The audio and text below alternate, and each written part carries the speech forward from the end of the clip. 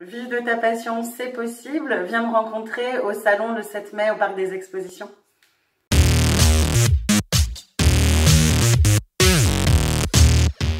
Bonjour, on est avec Gaëlle, entrepreneuse finistérienne qu'on pourra retrouver au salon régional le 7 mai prochain dans le village EPA.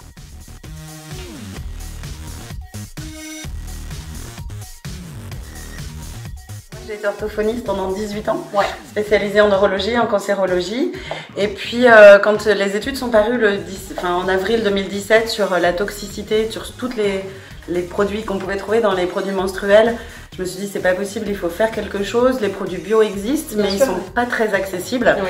Il faut aller dans un magasin spécialisé en biocop ou euh, et donc comme les box euh, ça fonctionnait pas mal en France, je me suis dit mais oui évidemment on, on doit pouvoir recevoir tous les mois des produits sains euh, dans sa boîte aux lettres. Comme j'ai un fonds très solidaire, j'ai décidé qu'en fait pour chaque box vendue, j'en donnais une à une association Ah qui distribue des kits d'hygiène à des femmes en grande précarité ou SDF.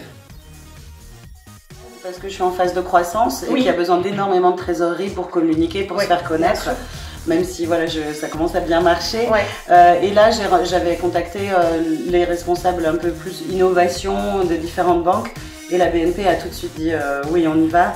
Ouais. Euh, un soutien énorme, Ouais. euh, vraiment super motivé et euh, on est en train d'établir un deuxième business plan vraiment en- avec plus de, de gens qui sont avec leurs compétences qui m'aident à, à établir ce business plan.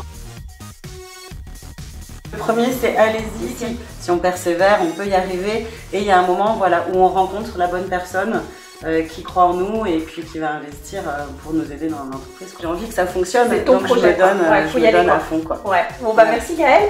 On retrouvera Gaëlle euh, au village EPA. Je vous invite à la rencontrer. Le salon régional, c'est le 7 mai. On vous attend.